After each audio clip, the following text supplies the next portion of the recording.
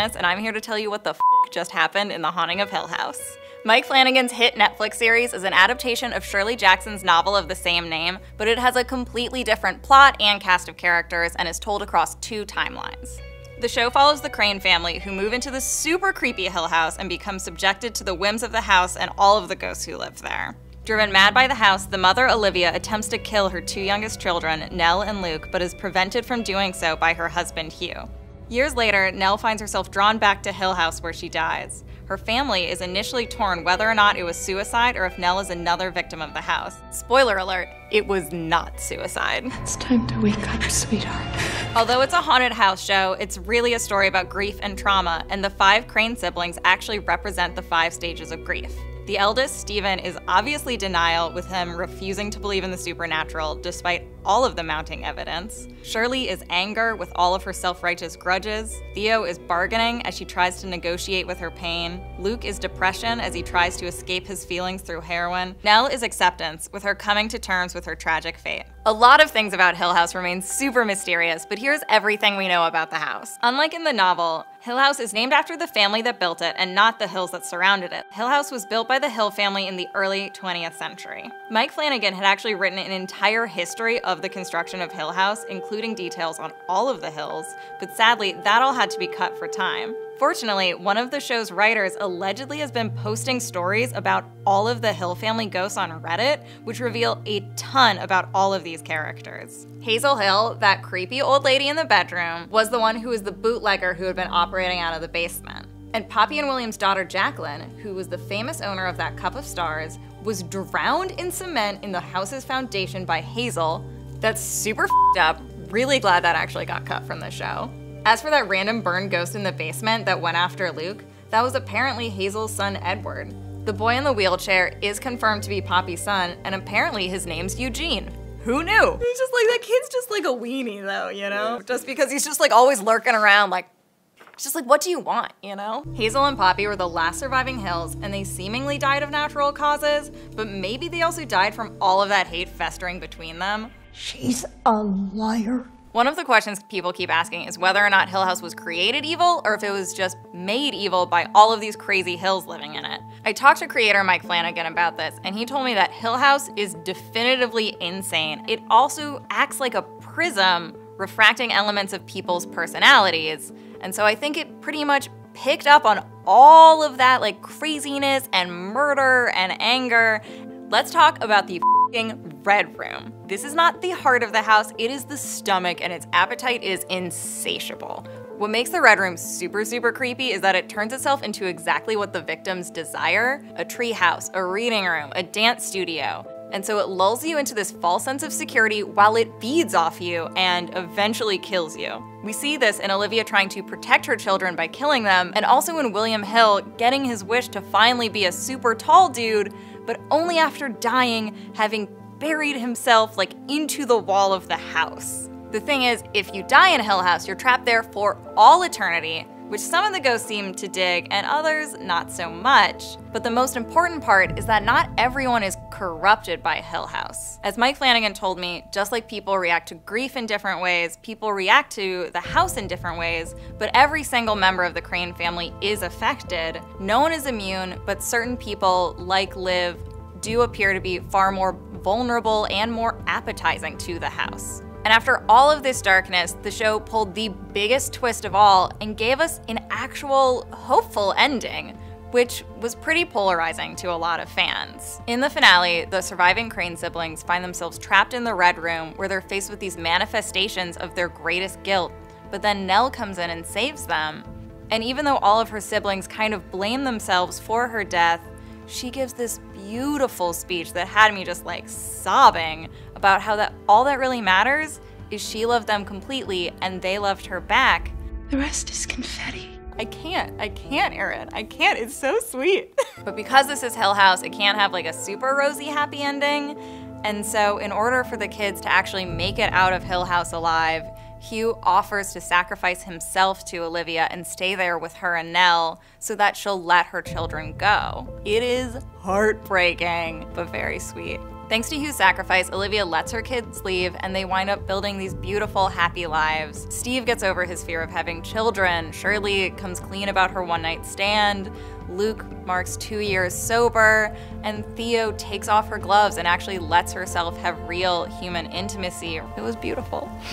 As a big fan of the book, I was not expecting this at all because Shirley Jackson's novel has one of the most cynical endings I have read in a while. Mike Flanagan originally wrote a much darker ending that was more in line with the cynical one from the book. That scene where all of the cranes are together celebrating was going to be revealed to actually be inside the Red Room, which would have been devastating. But then Mike Flanagan fell in love with the characters while they were making the show and decided it would have been too cruel to do that and that they had earned these like two minutes of happiness after those 10 hours of just trauma and grief that we had all endured together. I would call it a happy ending because when you go into a horror thing, a happy ending means not everyone dies. but it is a hopeful ending and an optimistic ending. It's an ending that is filled with promise and opportunities and room to grow and heal. And I think that's what a lot of people like to imagine is possible. And so that's why I like to think of it as a happy ending. These contradictions between the tragedies and the healing are the point. The Dudleys are able to reunite with their kids in the afterlife at the cost of their Christian belief in heaven. The Crane siblings are able to come together as a family in a way they hadn't in 20 years thanks to their father's sacrifice.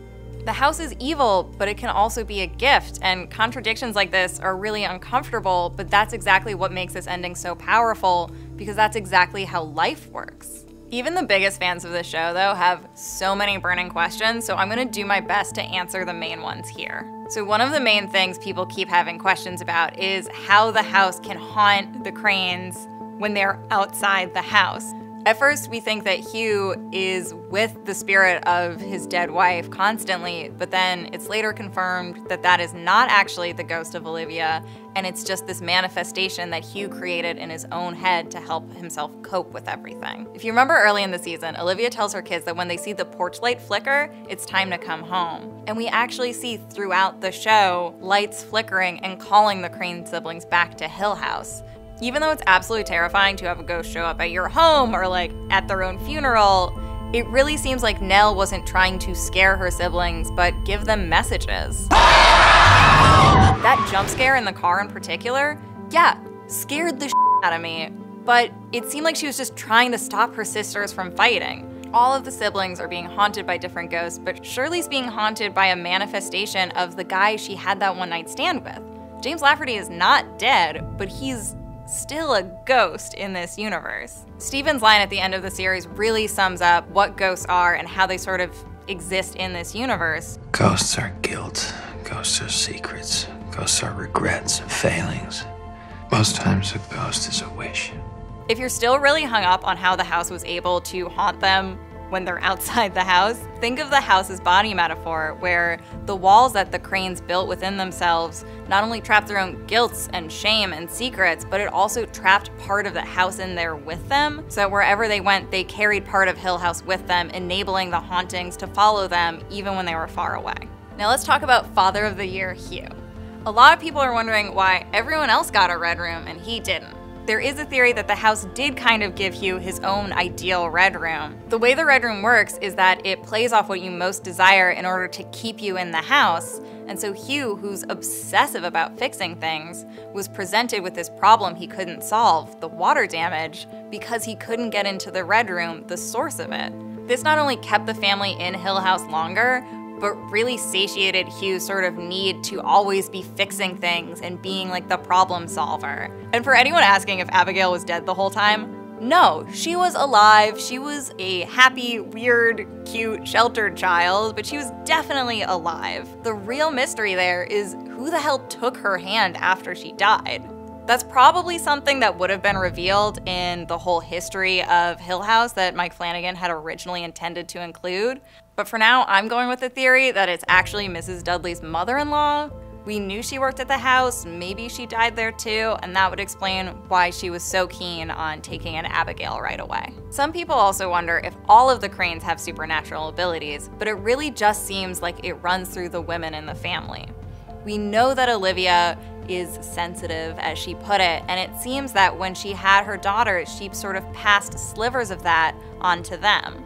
We know Theo has the touch, Shirley has the dream sleep, and Nell can see across time. These abilities and this sort of like heightened sensitivity is probably what made Nell and Olivia in particular so desirable to the house and why it latched onto them so strongly. One of the most unnerving parts of the finale was when Poppy Hill went up to Hugh Crane and started singing that creepy song about the Groton family and how every single member just met this horrible death. He came up close behind him and strangled him with wire. But the story behind that song may actually be creepier than the song itself. That Groton lullaby is taken straight from the book, where it was taken straight from Shirley Jackson's actual life.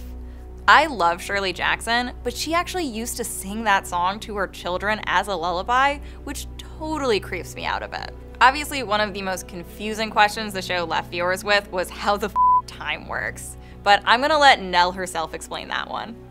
Our experiences fall around us. We are not alone the Haunting of House would argue when you're standing on a corner in the rain and you think of someone you love, they're with you in that moment. So even if they're gone in this in this world, that they are still with you. But obviously the biggest question on fans' minds right now is whether or not there's gonna be a season two, and it's kind of up in the air. The one thing we know for sure is that Mike Flanagan has said that the Crane story is done. So even if the show were to return, we wouldn't be seeing them again because frankly, the Cranes have been through enough.